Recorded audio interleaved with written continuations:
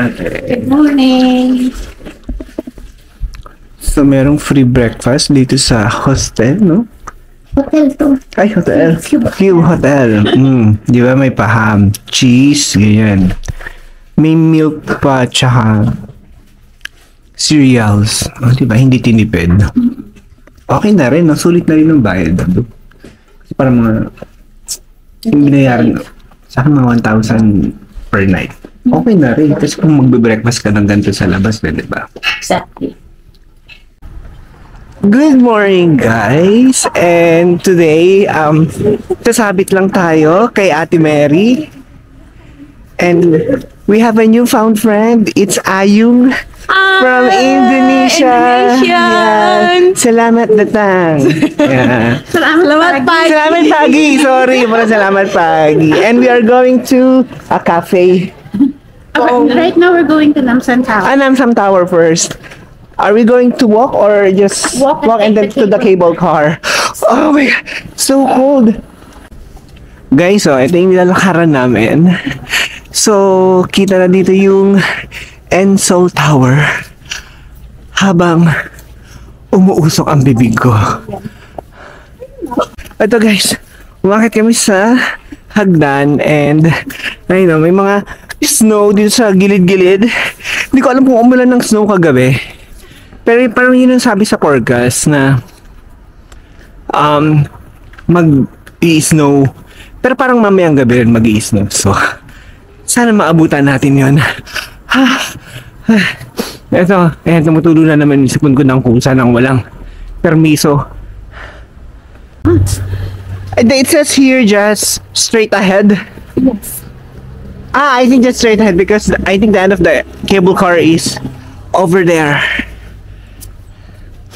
Ah, di ba guys? Nag-i-English ako. Quite a long walk from Yeah, and ito na yung nilalakaran namin papunta dun kay. Namsam Tower. Ha. Ngayon guys, naka limang patong ako. Meron akong heat tech, sando, and then meron akong sweater. Tapos itong puffer jacket. Tapos itong coat. So yung katawan ko medyo okay, pero yung muka, yun, doon ko nararamdaman yung lamig. Tsaka, yung medyas, tatlo rin yung patong ko. Isa yung heat tech. Guys, ito yung cable car. Yung sasakay namin papuntang Namsam Tower. Maganda siya kung Guys, ano na ngayon kasi Naglagay na ako ng bonnet, dalawang layer kasi naninigis na yung tenga ko. Baka mag-frostbite ang aking tenga. Guys, we're here na sa entrance nung cable car papuntang Namsam Tower. And napaka-convenient nung binok namin or yung pinag namin kasi malapit lang siya dito. Tapos malapit lang din siya sa Myeongdong walking street or yung may mga street food na mga market market. So, bibili muna kami ng ticket. Then, sasakay kami ng cable car. So, this is the price. 15,000 round trip. 12,000 one way. There. I'm sorry. We're here na going to third floor. Huh? Uh-huh. Ah, up. I think it's going down. Ayun guys, nagmula namin pumila. May pila pa dun sa cable car. So, konti lang naman yung mga tourists dito. Ayan. Siyempre, I'm still with Ate Mary Ann and Ayu. Ito guys, nakasakay na kami. Here, here, window. Window. Yeah, this is the cable car, guys. Nasa sa ng cable car. Sana maganda yung view dito. Oo, ay nauna sila doon. Ito guys, umaandar na. So nice. Oh, wow, look at the view. Guys, ang ganda oh. Wow. Ganda. Okay, so dito na kami, malapit na kami sa taas ng Namsam Tower. Ang ganda. Okay, so ganda ng view. Wow, guys, snow. Is it snowing in Bali? Nakababa na kami ng... Ah, okay. May pila pa rin pala siya. Pagdating dito. Ah, no. This is the pila ng cable car. Kami, didiretso na kami ng... ng Sam Tower. Ito. We don't need to go to the ski resort because there's already snow here. Ah. See, let's let's see how spectacular the view is. Wow! My God! Oh, guys, ang ganda kahit may mga ano ng puno-puno oh dito. Yan naman to. Nice! Oh, di ba? Ang ganda. This is Seoul.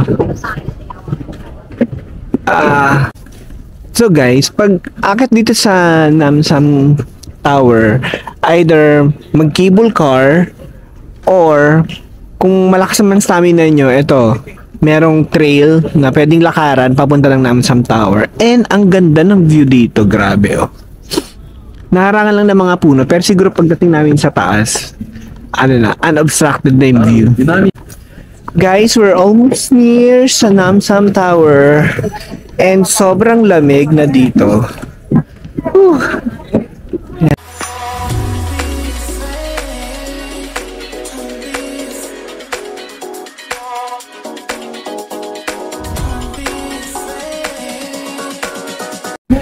Ayan guys, nandito na kami sa Namsam Tower. Ah. ah, medyo malamig ngayon, pero yung kahapon mas malamig. As in, parang negative 18 yata yung feels low, negative 13 lang yung temperature. Pero ngayon, hindi ko alam kung dahil nakalimang layer na ako napatong. Kaya medyo okay ako. Pero kanina, sumasakit yung tenga ko kaya naglagay na ako ng bonnet. Ito yung view from Namsam Tower. Ayan. Tapos malawak din dito eh, oh. And, oh. And hindi ganun karaming turista today. Ano ba ngayon? Saturday.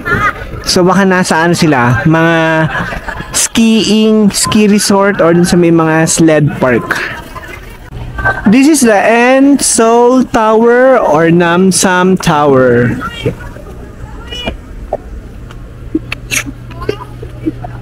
Wow, guys! Oh, ang ganda oh. Overlooking sa mga building.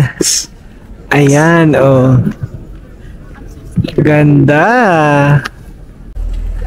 Guys, we're done here at Namsam Tower and now we're going to um what do you call that palace?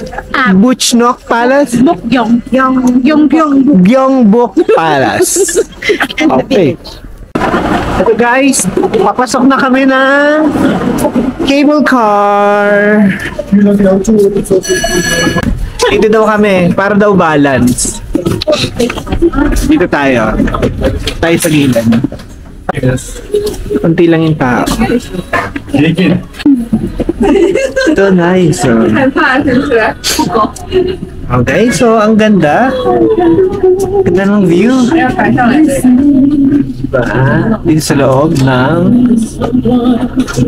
cable car.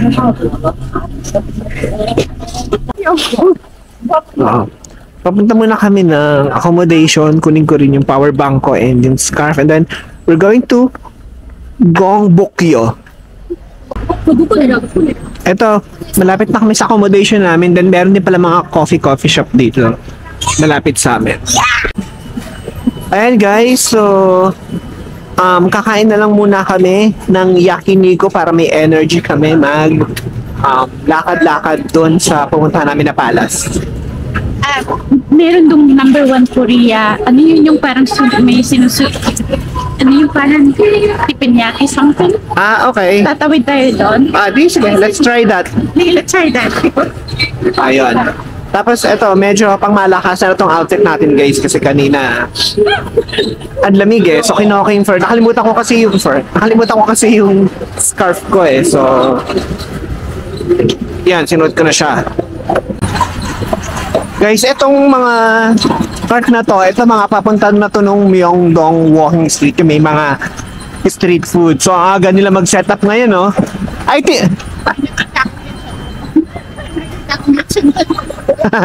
Lechon pork.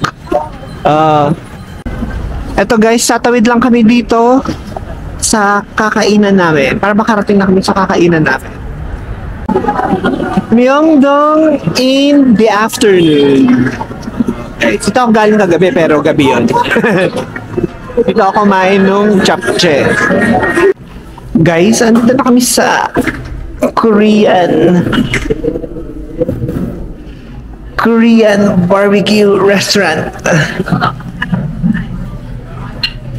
Ah, parang Samgyeopsal. Hungry? Guys, so dumating na yung side dish namin. So ang in-order natin ay beef, ay pork set, pork set na parang sabi, ilang grams yun? Belly. Ah.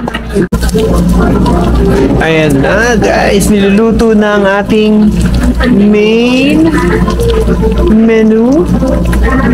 Kapal ng pork, no? Sana masarap yan. Nagpiling ko naman masarap. Authentic and legit. Tapos yung kanila mga side dishes. Ayan, so niluluto na yung ating food. They are cooking our food courtesy of Ate Mary Ann, our first cook, and our second cook, Ayu. Uh, me just waiting for the food to be cooked and I'll eat. I'll start with the soup.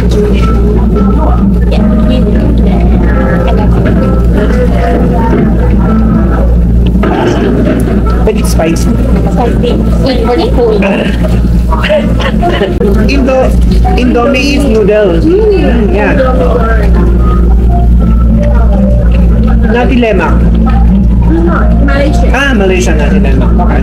Naguguluhan ako sa Malaysia sa Indonesia, Bali. Mm, yeah. Babi gulay. Babi.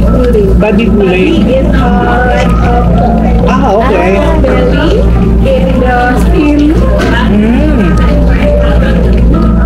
Pa- something like this. Pork belly. Ah, okay. Guys, nakita siguro hindi namin niluluto. So, nagpunta na si ate. Siya. Tapos, sabi niya, lutuin ko na. So, siya na nag-take over. Yan, di ba? Masarap talaga pag may tagaluto. Let's eat.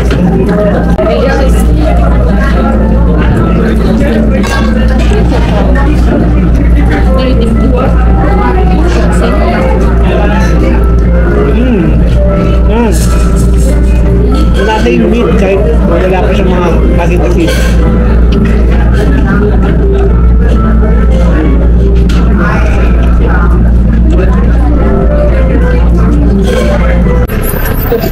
Guys, oh, binilan ako ni Ate Mary Ann ng ear muffler. Oh, di ba? Perks of, you know, finding new friends in place. Oo, daming daming kabayan dito. Ngayon, papunta na talaga kami ng Palace. Sasakay kami ng train. Yeah, we're here na at Gyeongbukgong Palace. That's the art shop and cafe. And siya saan dito siguro no? Yung costume and magpapalit ng costume sila Ate Mary Ann and si Ayung. Guys, ang laki. Ah, ito. Ito sila, oh. Tapos may mga naka-costume, oh. Diba? Ayan. Ganda. Oh, ito guys. So, isasoli na nila yung mga costume. And susundan na lang namin sila.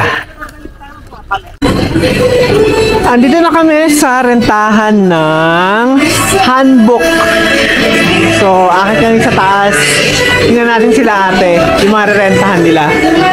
Ako, satisfied na ako sa outfit ko for today kasi baka masyadong maraming effort kapag magpapalit pa ako. OOTD check tayo guys. So, nandito kami sa rentahan ng handbook. Ito si Ate Mary Ann. Magpapalit sila ng costume later. This I'm asking. This is the before. Yes. And the after. Wow. See, in less than 5 minutes, she's all dressed up. Perfect. Ate, how much yung rent ng handbook? Um, $11. 11,000 $11 so USD Uh, yes. Uh, 14,000. 14,000 Korean won It's okay cheaper to actually book them online because if you book them on the spot, it costs three more. Ah, okay. 3,000 more.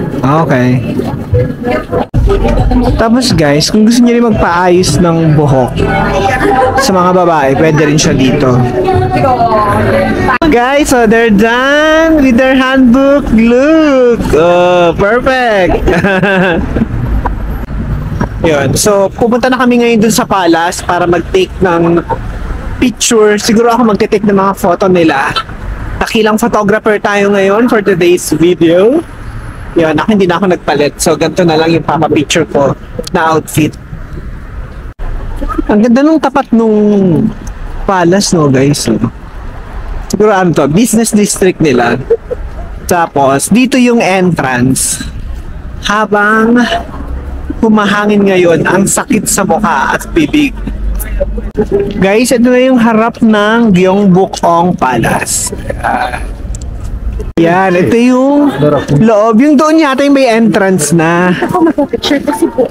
Oo nga, ang ganda eh. Ayan pala eh, oo eh. Dito from here. No.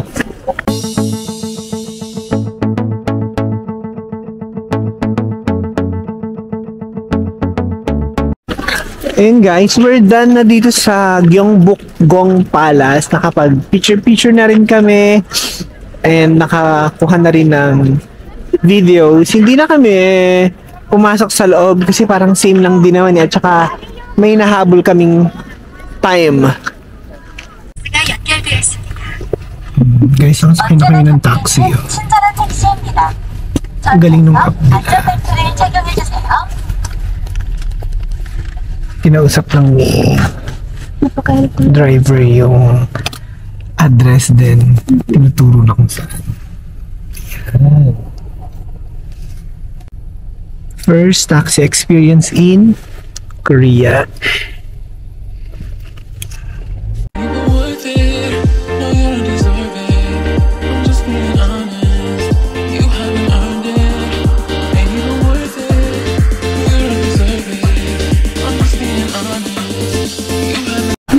Oh my God, guys! Ang ganda! O, di ba? Akala ko hindi nag-yellow, nag-ano pala. Nag-yellow. Ang ganda, no? Hello, nauna na kayo dito. Kakarating lang mga Guys, ang ganda.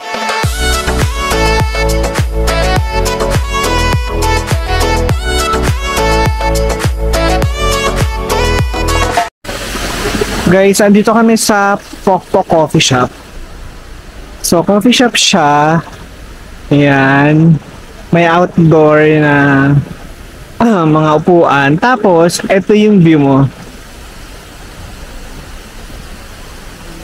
Ganda, no? Tapos na kami dito sa Po, po Cafe. Ngayon, pupunta kami ng Hongdae kasama yung mga newfound friends ko and travel buddies. Ayan, no? From different parts of the world. First bus experience going to Hongdae.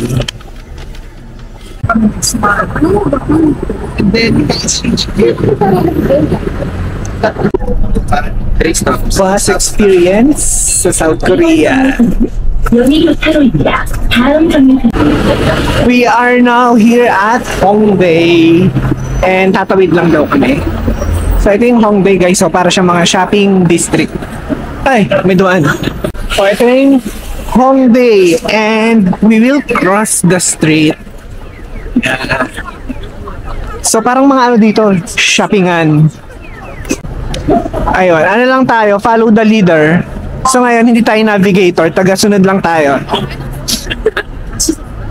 No. Anong meron dito sa exit building? K-pop? K-pop. Oh, meron daw K-pop dito. Eh, paano yun? Si Sandara lang ang kilala ko. Part of kilala ko. The rest, sorry. Oo, eh. Sige, follow lang kami sa lahat. Sige. This is Exit Bookstore. Oo.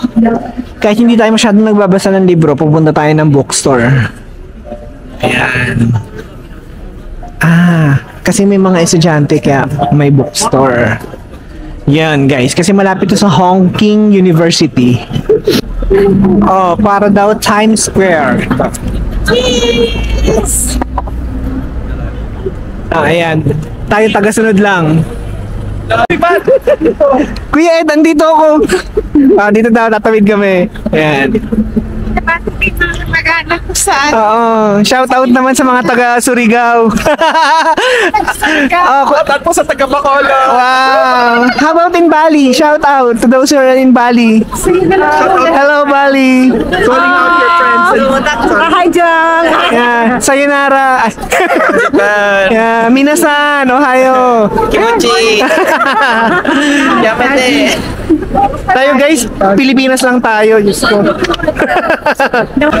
Ayan, tatawid ulit kami. Ayan. Crossing. Oo, oh, ito. Oh, ah, Shibuya yan. Oh, di ba? Oh. Oh, guys, nandito pa rin kami sa Hongdae. Ang daming mga kabataan dito kasi nga malapit siya sa isang school, yung Hongking University. Ayan, tapos ang daming mga cafes at saka mall. Tapos ang sabi, mas mura daw yung mga street foods dito yung mga yes ganun pagkain. Kasi nga student price kaysa dun sa Myeongdong medyo mahal nga sa Myeongdong pricey eh parang pang tourist Andito kami ngayon sa Korean Mart dito sa may Hongdae. Tingnan natin kung may mabibili tayo. Oh, ayan guys yung mga tinitinda dito. Parang mas mura daw dito kaysa sa Myeongdong. Ah. This is 4,900 Korean won lang. 200 grams na siya. So, konti lang siguro muna yung bibilin ko kasi yung alam niyo naman yung bagahe natin eh punong-puno na. Sabi scan lang daw pero tingnan niyo naman. Sige na. Budolis. Oh, di ba? Puno ang isang basket. Budolis reel. Oh, ayan. Hindi pa, dagdagan mo pa. Kulang pa yan. Ayoko na. Oo. Break the record.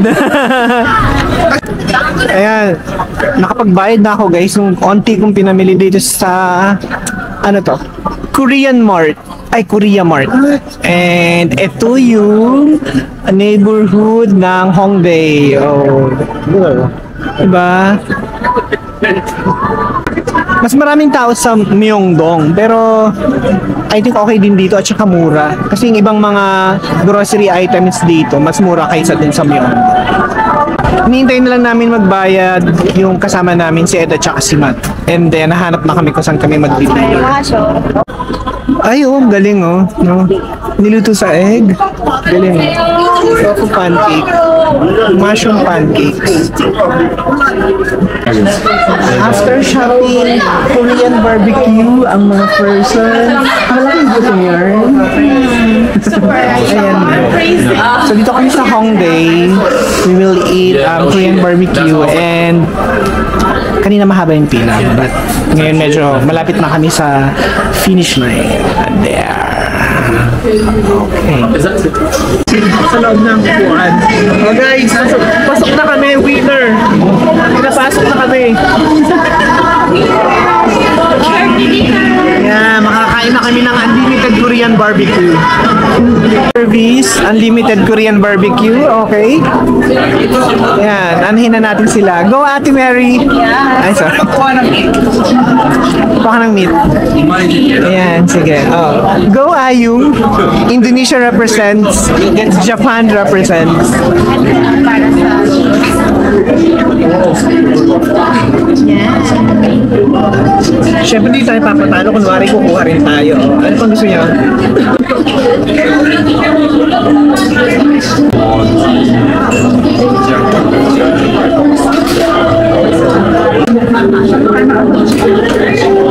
Thank you. Oh, ito na yung share ko. Kinuha ko. Unlimited Korean barbecue sa Donghae. Yeah, Korean Unlimited Barbecue. With this bunch. Happy holiday. Happy holiday. Christmas. Christmas.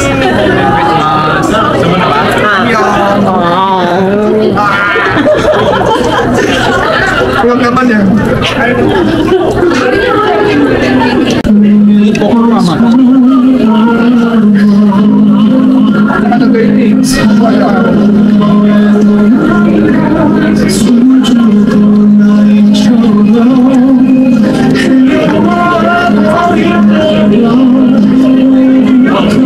Pag marami kang pera, ikaw ay may inis free. We're going back to our accommodation and we are so full. Oh, ganito kahaba yung pila. Pag baka pasara na kasi yung train eh, no. Kaya ang haba ng pila. Ayan.